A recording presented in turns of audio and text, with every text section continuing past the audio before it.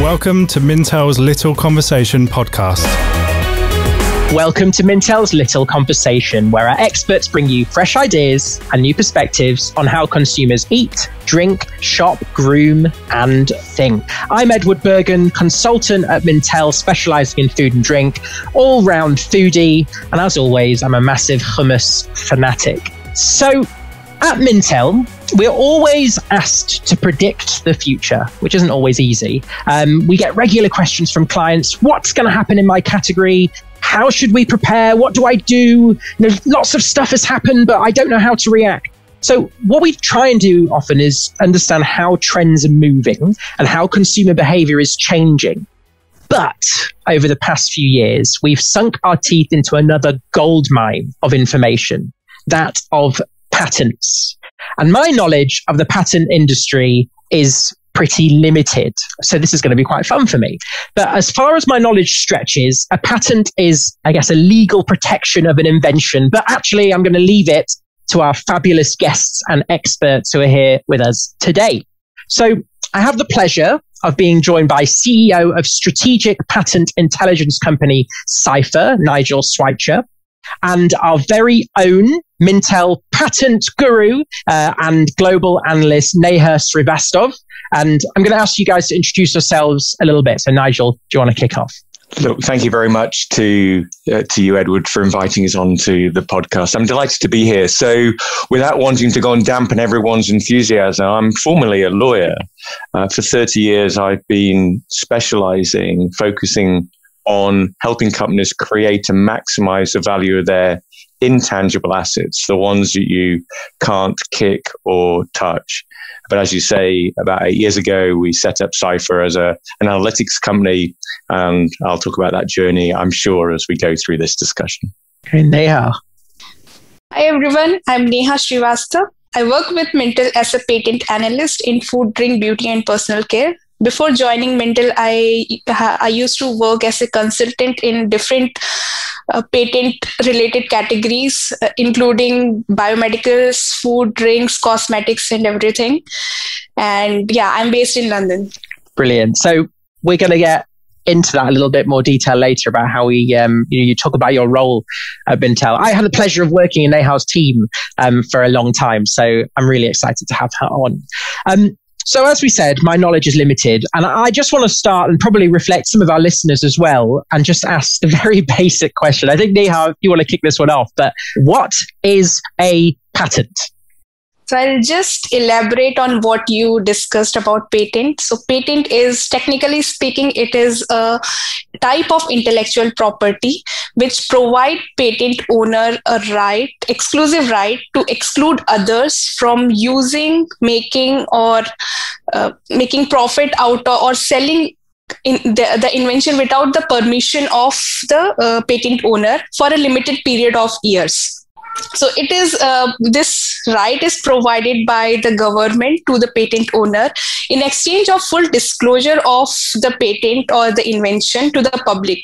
So in a way we can say uh, this invention or the full disclosure is available to the public but they cannot use it or make profit out of it without the permission of the patent owner and how long do they have that permission for? Yeah, so on an average, it's 20 years from the from the time they file the patent, but it sometimes more or less plus or minus five years based on the situation or or the problems associated or delays from the patent office. So there can be plus five years or minus five years or less than that also. Yeah. Wow. Okay. And uh, when they file a patent, does does do they always appear after 20 years or does something always appear or does sometimes they, they file it and it you know is there a can we a percentage of how many companies actually ends up as something is innovated something is created as a result? Do we know that? So it depends. It, it is based on how strong your invention or your idea is. So sometimes uh, companies file a patent but it cannot go beyond because examiners reject it in between saying that it is very obvious invention. So you have to every time uh, prove it like your invention is novel. It has uh, some advantages which, which is not already known to uh, the public and so on. So it's up to you how you take your uh, patent proceeding further. So it depends upon that. Wow. Okay. So I think we've got an uh, an idea, but actually, you know, the filing of patents is one thing, or patents is one thing. Um, but we've got Nigel with us, and what you do is a bit special. What you're doing is creating insight around you know, the filing of these. So could you actually talk a little bit about Cipher and what you do and why it's really interesting for industries and for companies. No, I'd, I'd like to do that. And I'd also like to build on a couple of comments that Neha made about patents. So you have this legal process. There are 44 million patents in the world which are active, owned by a million uh, companies. And you could look upon that as a as an arsenal of legal rights that could be used against others. But if you turn that on its head, what you end up with is the largest library of scientific information in the world because this is information. And as Neha said, you don't get the right to get this monopoly, this qualified monopoly, unless you're willing to disclose it. So you've got this amazing equation that companies are willing to set, put in 60 page documents describing their very latest and best innovation in exchange for the opportunity of getting this legal right. So the reason that Mintel and Cipher work together isn't because Mintel is turning itself into a law firm, but because Mintel wants to extract using machine learning this predictive nature. Because what people invent today, they may do tomorrow. So you said at the get go, Edward, that predicting the future is hard, but sometimes you get some tips, you get the clues in the information. People don't file for patents for fun. A patent costs about $50,000 over its term by the time you've applied to the office and got it drafted and renewed it, because keeping patents over a period of time takes longer and longer. So not only do you know that they were serious because they invested their money. But you also get this technical description. So back to your question, uh, what does Cipher do? Well, think of information as I know Mintel does in so many areas as a sort of hierarchy that you have data and a big pile of data is frankly useless. So me sending across to Neha 44 million 26 page uh, uh, uh, 60 page documents in 26 languages, I don't think would get a thank you from Neha and the Mintel team.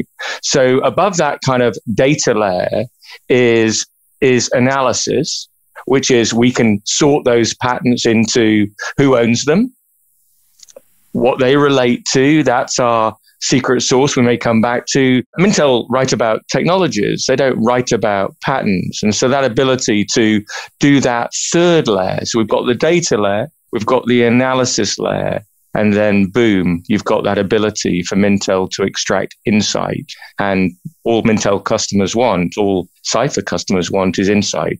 They don't want data. Isn't it fascinating? Because straight away I, I listen to what you said and go, okay, you talked about you track them by who's launched it. And you could get one company going, I want to know what my competitors launched straight away.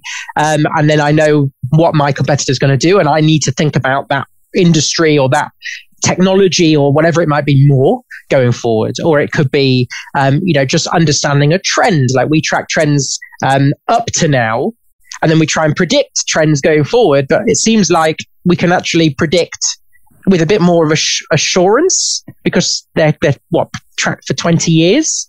And then you can sort of see if, if x number of companies have all filed patents for a particular industry like a, a flavor or plant-based or a new texture in whatever food it might be. We can then go this is going to be a big thing in 15 years time or 10 years time.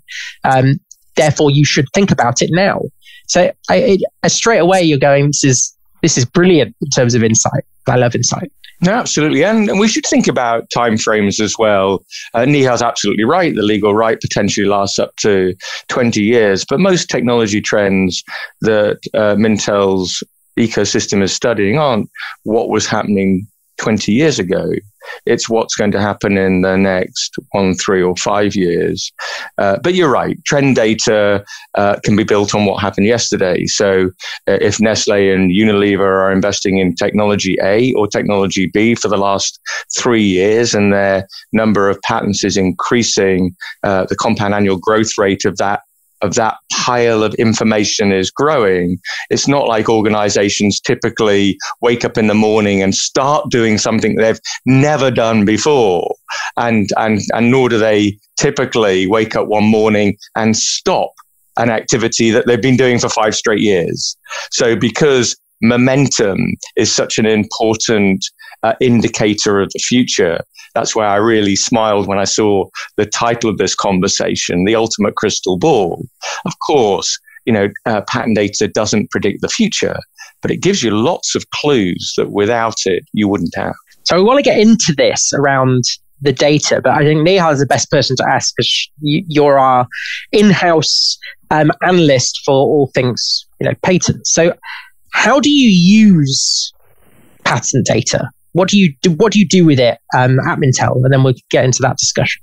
So I think three, four years back, the higher man- management of Mintel got the idea to include the patent insight in our existing ex- insights. And the reason behind this is to provide a scientific backbone to what we predict. So we, uh, uh, so with the help of patent insight report we provide a holistic overview like what consumer want and why. What is uh, there in uh, currently in market in terms of new products since we have a global new product database which covers majority of products launched across the globe. And with the help of patent we try to identify what we can see in future. So with the help of cypher we get to know like okay we get we get all the patents related to specific category and then we analyze and categorize them to identify the insight like who are the competitors as nigel mentioned what are the different geographies where they, these patents are filed. And not only the big competitors it also help in identifying who are the new small players maybe some startups or some inventor with uh, which is coming with some disruptive technology. So it help our clients to understand a holistic overview related to particular category in terms of everything like from the start what consumer wants and why because most of the uh, patents or inventions are associated with the problems associated with the previous uh, products. So the majorly it is uh, uh initiated by what consumer wants then uh, there are problems associated with the existing products. So the inventors try to overcome those challenges and or, or to overcome those problems associated with the product and they come up with the new invention. Yeah, like straight away, I'm thinking of um, we've had for years people asking us about like plant based processed burgers. And then a burger, they always have problems that it tasted a bit bland and the texture was not quite right. And then I've used your data to see the patents um, that have been filed that, that, talk about texture in a plant based burger to make them juicier, to make them more like meat, to make them. And we've seen that you've shown me a whole host of them before um, on your analysis. I, I, I'm thinking straight away, you're going, okay, there's going to be a lot of work done in terms of texture going forward in a plant-based burger category. So know straight away. Sorry, I, I interrupted you, but I thought that was very interesting. Yeah, and in in that uh, topic only, actually, I came across one patent which is talking about providing the sound which is uh, which happens when you cook actual meat. The sizzling sound of that. So there is a patent related to that also in case of plant based meat. They are uh, modifying it in such a way that, that you when you cook it you get the sound of like you are cooking the actual meat. It's crazy. So yeah so inventors are yeah inventors are taking all these minute details in the mind while doing such innovations uh, it, it's really interesting. I know we're going to get into some case studies more, but I've got a question for you, Nigel, on this. You, when we talked before this record recording today, you talked about the relationship with Mintel and the data is quite unique for Cipher. Um, so this is so generally we're the only ones doing using you like this, or and and other companies use Cipher in very different ways. It's a good question. I mean, we uh, have been in a relationship with Mintel now for close on three years, and uh, our relationship is unique. You are the only company in the world uh, in your sectors, the FMCG sector, that is publishing marketing intelligence using that crystal ball, that predictive information. So it's a very special relationship. Uh, but to explain uh, how it came about, you need to understand that this this largest library of scientific information in the world is like a Pandora's box of toys for the for the industry. And we started by providing this information to patent owners.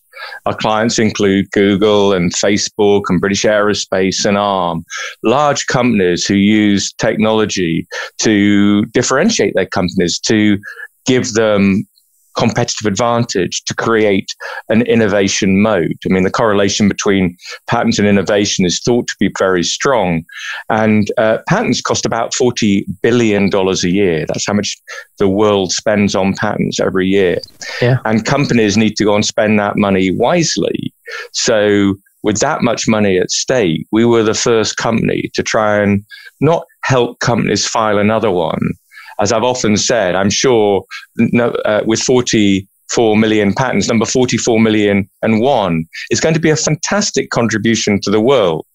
But it's it's very interesting to know what the whole population looks like. What's the trend in the technology? What are competitors doing? So we help companies build portfolios that are of the right size and a good value of money, good value uh, for money. Now, very important, I say that this spectrum of people who are interested in this information source is becoming broader and deeper. So Mintel's a great example of using the information not for patent owners, but for market researchers, for food scientists. You know, there's tens of thousands of Mintel customers, the vast majority of which don't get brought up on patents, but want to know the information from it. And if you take another example, we work with the financial services sector. The financial services sector are equally not lawyers, but they want the data to help investors understand what the assets are which are owned by the company. So again, not to know what their weapons are, but to understand this intangible asset story. So as a quick data point, intangible assets account for about 70 to 80% of the enterprise value of companies, but none of that information is on the balance sheet. So organizations like Cipher fill that gap to enable you to have additional insight into what a company owns and what it's doing. So I think Mintel can claim pioneer rights as being uh, one of the organizations that's forced Cipher to go and think more imaginatively about the increasing uses of its data. But the spectrum now goes from patent owners through to market intelligence companies, through to financial investors, to mm. insurers. I think this is, I think, as you said at the start of the discussion, this is a potential gold mine of yeah. data that's never properly been exploited it's fascinating. I, as I said, I'm mostly using Neha's analysis to provide stories and excitement to my work and I'm working consultancy sort of projects. So we'll add this in as that kind of often predictive trends and we'll use Neha's insight, but it gets us straight into that. You, do you want to talk about the breadth of requests and then talk about some of the case studies, Neha, about how,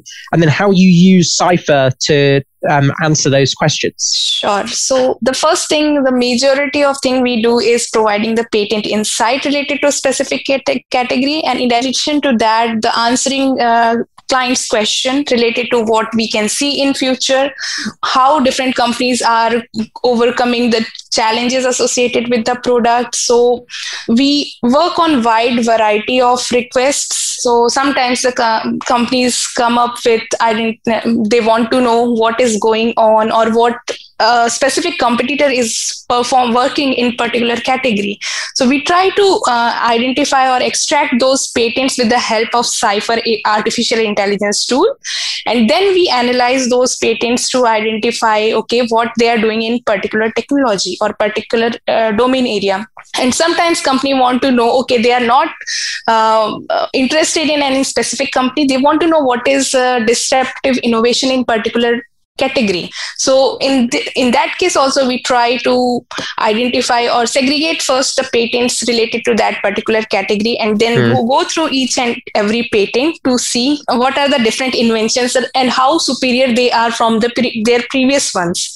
So and accordingly we provide the insight related to okay what is the disruptive in- innovation in particular category who is doing this. So most of the time this kind of disruptive innovation are done by the startups or small inventors. So it helps our clients to understand, first of all, who the competitor is. Second, who can be their potential partner because startups don't have the capacity to prepare a manufacturing mm. or production unit.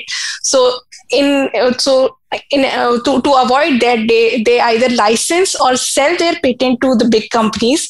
And they those big companies uh, they they don't have to do everything from the scratch.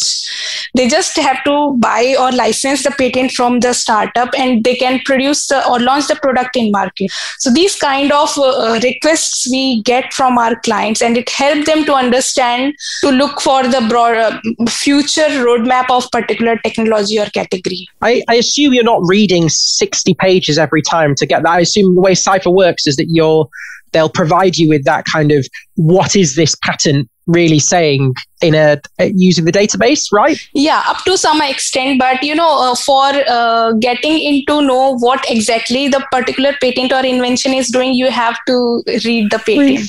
Yes Neha you're reading 60 page reports for everyone? Okay Wow. no, but it's worth jumping in there, right? So, uh, um, uh, Neha's all willing to read a 60 page document. Cipher reads 61 million documents in an hour. So, so Neha doesn't have uh, enough time to read 61 million documents. So, what is the role of machine learning? Why have we adopted that technology to solve the problem? Because Neha wants to press a button and to see all the patents owned by Nestle in the area of hand, uh, in, in the area of gut health. We'll just stay with uh, that example. Mm. So and of course, because you're not interested in what happened 20 years ago, Neha, no doubt you're going to ask for those documents that got filed in uh, in the last three years. And because Neha's native tongue, uh, well, may have many native languages, but let's assume English is one of a, a very popular language for Neha to study in, maybe she'll focus on European and US documents. So you can see Cipher is asked to go into the pile of 61 million to pull out the documents from Nestle in the last three years relating to gut health. Mm. Uh, in, and all of a sudden, now there's five, 10 documents. All good. Neha is a human and humans can do insight in a way that the machines can't. But look at that balance between perspiration and inspiration. When, when, when, when Neha starts her work, there's been a machine that didn't mind reading 61 million documents, presents it, that takes away 80% of the manual work. Neha still needs to do that insightful job, but only on 10 documents. That sounds like a fair trade, Neha. Wouldn't you agree? Yes. yeah, that's true. Do you want to go into that topic? Like when, uh, into a case study, Neha, about when you've, you know, particular industry that we're being asked about a lot um, and how you're using you know Cipher's data to to to bring out insights? Mm, sure. So I'll share one of the case study we did for uh, related to gut health.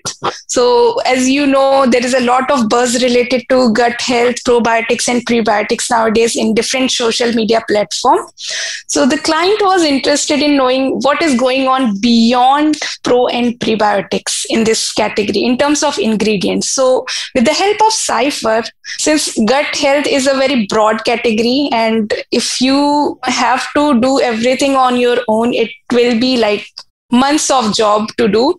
So with the help of Cipher, we uh, tried to segregate all the patents related to gut health, specifically for food and drinks. We uh, we removed all the patents related to pharmaceuticals or medic medicine related things. And when we analyzed those patents, we we identified like okay, probiotics, prebiotics. Uh, there is development going on in terms of invention. Different types of probiotics and prebiotics are being invented. But in addition to that, there are ingredients ingredients like botanicals, fermented ingredients, and now postbiotics. These are some of the upcoming ingredients which on which the inventors are focusing more on. Botanicals because the one reason is it is sustainable. Everyone is moving towards the green thing. So innovators are also uh, looking into something which is sustainable and more acceptable among the consumers. So majority of inventions related to ingredients for gut health are associated with botanicals fermented extracts postbiotics. All those are into the natural thing stuff. So we identified these things and uh, we thought okay gut health is uh, in in terms of ayurveda chinese herbal medicines and all these things. So gut health was always the center of attention there. But now in inventors are also look, uh, taking care of this. So we found many patents which are talking about improving gut health and indirectly improving the other body functions like improving eye health, bone health, providing proper growth and nutrition because everything you eat go into your stomach and if it is not absorbed by your uh, stomach it will not uh, get into different body parts and provide the effect so we found some uh, important innovations like uh, improving gut health and indirectly improving your cognitive health because of gut brain axis. And yeah and an- another interesting topic which came into limelight was immune health because of this covid pandemic we have seen a lot of limelight into the immune health. And we have found that uh, there are uh, inventors who are working on this category like mm. improving gut health and indirectly improving or supporting the immune health. So these were some of the insights we generated and we got a very uh, good feedback from the client we were very excited about this insight because this is something additional we provided to the client. It, it's amazing how um, you know the, the, level of detail we can now give rather than just going on sort of consumer questions where we've said are you interested in gut health and most clients say, you know most consumers say yes this is really interesting to me and it, we know it's becoming more popular but then to be able to say and there's going to be expansions in it because there's been a $50,000 investment in a patent related to a technology, it means that it's something that probably will be launched in some way or another. So we can really give them quite a strong uh, assurance. I love that. I wanted to ask one more question before we sort of sum up. Uh, sort of a question to Nigel. Obviously, um, do you, and you're welcome to take names out, but you, we work with obviously our clients um, in in this way using our data. But are there any really good case studies where you've uh, an example where you've provided patent data to your clients and you know they've reacted in a certain way i know that's a very vague question but you work sometimes you work in very different sort of ways with your data yeah I'll, I'll, give a couple of examples. If I may, I'd also like to give a quick plug for the Cipher Vision podcast uh, series. We are trying to go and help the world understand the importance of this data set to make evidence based decisions. Just a couple of examples, but they're all there for you, for you, for your listeners to turn to if they want to know more about this topic.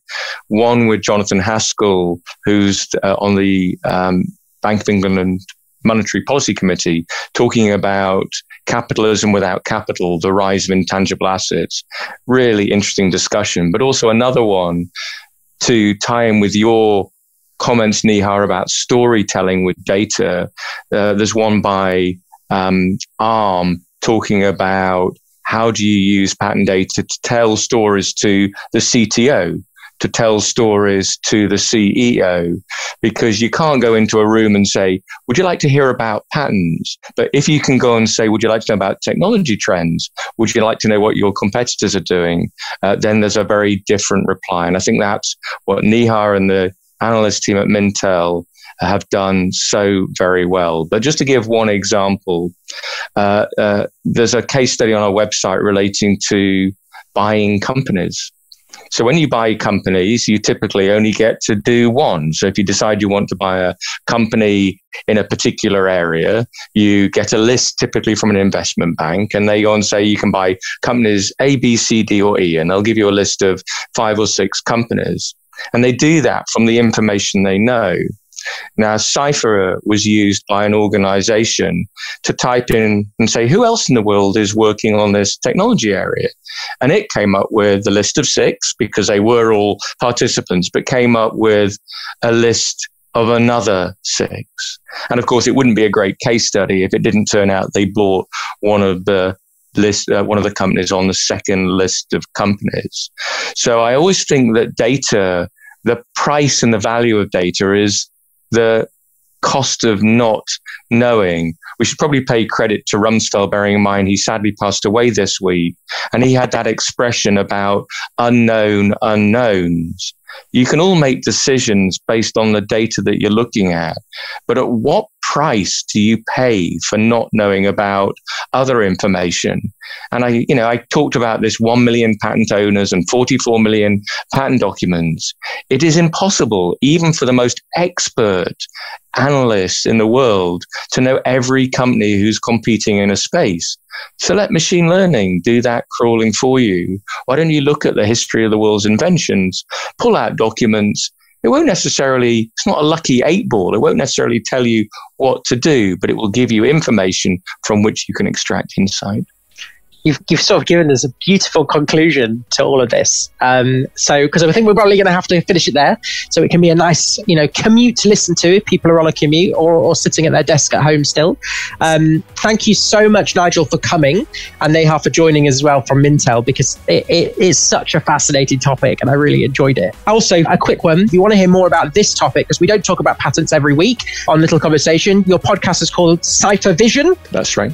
So please check that out because you know it's such a, a big topic and there's so much we can learn. So you know check that one out because it should be a really interesting one to have a look at. Um, otherwise, thank you all for listening. Um, please subscribe, rate, review. This podcast is uh, in all the platforms that you find a podcast. Um, so you know spread the word about it and share it um, you know share mintel's little conversation if you want to know more about mintel or Cipher, you know, check out our websites. Um, head over to mintel.com, check us on social media, um, and we're on LinkedIn and Instagram and all the social media platforms. Um, otherwise, you know, thank you for listening and check out our next podcast shortly. So have a great one, everyone. Thank you so much.